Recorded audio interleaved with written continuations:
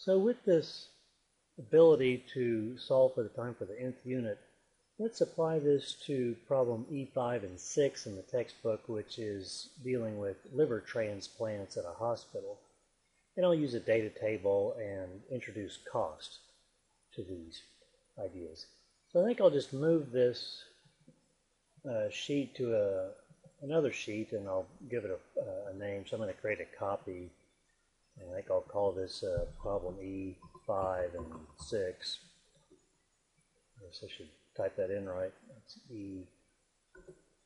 E5 and 6. And uh, this is just personal preference. I don't really want to see these grid lines. I'm tired of looking at them. So what I'm interested in in this problem, the setup is, it has to do with how long is it going to take to do a liver transplant as we learn about doing liver transplants. So the setup is that the time for the first unit is 30 hours. 30 hours. And the learning rate is 80%. So this B is updated. And we're interested in some questions about how long will it take to do uh, different numbers of, uh, like the 10th unit and the, the 5th and the 18th and all 5 and, and uh, all 18. So I'm going to use a, a data table. And what I'm interested in is the time to do these various liver transplants. So I think I'll start at, 2, well, I'll start at 1. I'm going to add, add these all up. I'm going to add cost eventually.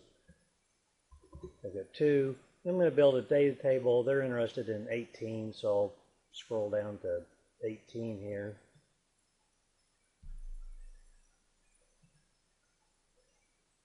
And I want to see these differences in times as I change these numbers here. How does that how does that change as, as the numbers change?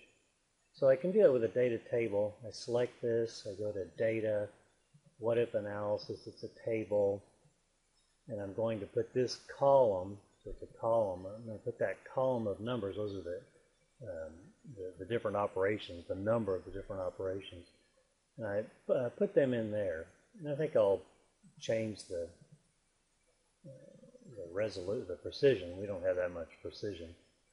So these are the times for the different units. These are the these are the different times.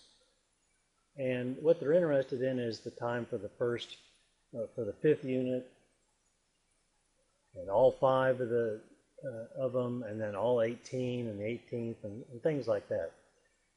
So I'll make this the uh, cumulative time. Make that column cumulative time. And the first one is just It took 30 hours. That's given. Uh, as we accumulate time, well, it's the previous amount, and then I add this uh, amount for the second unit. And then I can just drag that down. And so the answer, uh, one of the questions is, how long will it take to do all five liver transplants? Well, it'll take 112 hours, you know, we estimate. And the 18th will take 11.8, and all 18 will take 291.5. Now E6 asks what uh, price, what, what cost uh, will these have? And what they do is charge so much per hour. The operating room charges uh, $5,000 per hour. That's five. That's the that's the cost per hour.